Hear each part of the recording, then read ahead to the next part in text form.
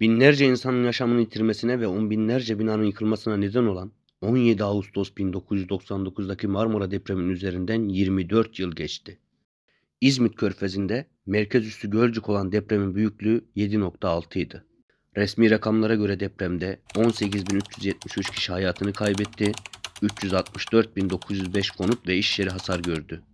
Depremin merkezine çok yakın olmasına rağmen Körfez'deki bir yerleşim yeri neredeyse hiç etkilenmedi. O günlerde herkesin dikkatini çeken bu yer Kocaeli'nin Dilovası ilçesine bağlı Tavşancıl'dı. Peki nasıl oldu da burada hiçbir bina yıkılmadı ve hiç kimsenin burnu bile kanamadı? Tavşancıl 1987'de belde belediyesi oldu ve 1989 yerel seçimlerinde belediye başkanı Salih Gün oldu. Başkan seçildikten sonra imar planı için Kocaeli Üniversitesi'nden bilim insanlarına başvurdu.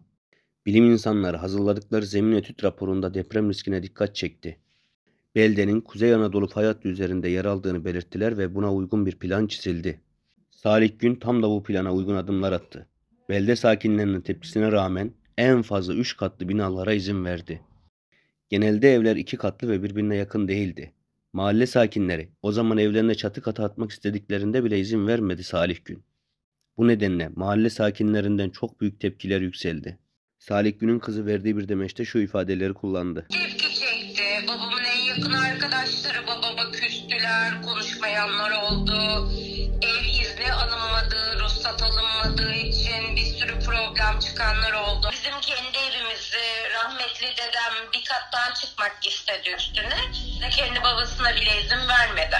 Yok burası deprem bölgesi baba kesinlikle olmaz dedi. Her zaman söylediği söz insan kaybetmektense oy kaybetmeyi yeğlerim derdi.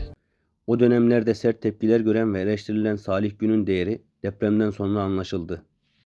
Tavşancılığın çevresinde binlerce bina, binlerce can kaybı varken hiç kimseye esneklik sağlamadan işini hakkıyla yapan Salih Gün sayesinde hiç kimsenin burnu bile kanamadı.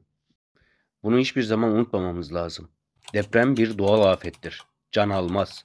Depreme dayanıksız binalar can alır.